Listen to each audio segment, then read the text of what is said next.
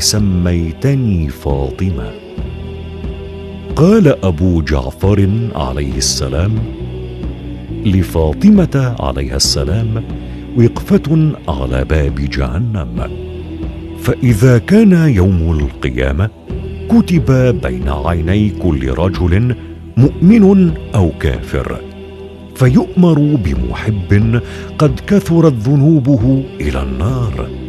فتقرأ فاطمة بين عينيه محبا فتقول إلهي وسيدي سميتني فاطمة وفطمت بي من تولاني وتولى ذريتي من النار ووعدك الحق وأنت لا تخلف الميعاد.